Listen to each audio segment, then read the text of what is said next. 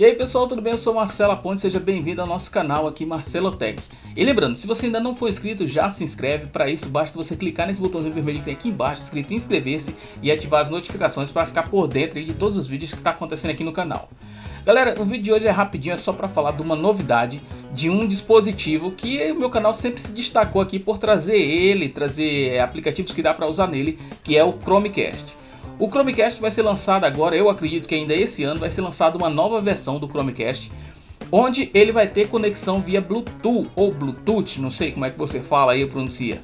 Então vai ter essa conexão, o que nos leva a acreditar que com certeza é, esse dispositivo agora vai ter, é, digamos, vai ter suporte para conexões com controles, joystick, com teclados, com mouses, tudo via conexão Bluetooth, o que melhora e muito a interação entre o usuário e o dispositivo, né?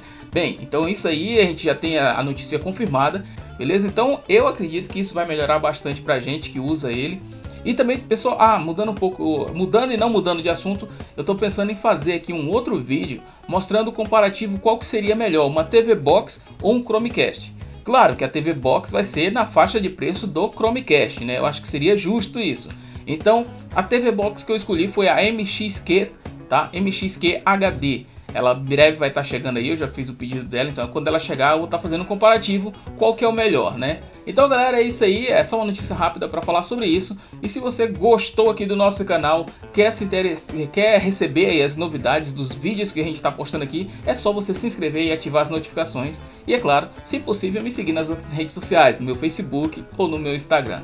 Beleza? Eu sou Marcela Pontes, fiquem todos com Deus. Fui!